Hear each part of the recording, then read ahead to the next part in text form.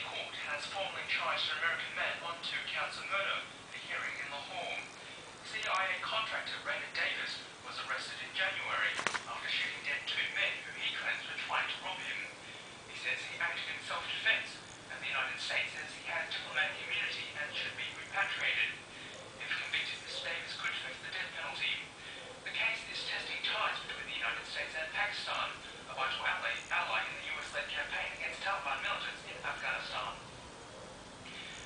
like the rest of the Australian stock market, Eurasian stocks are bouncing back today.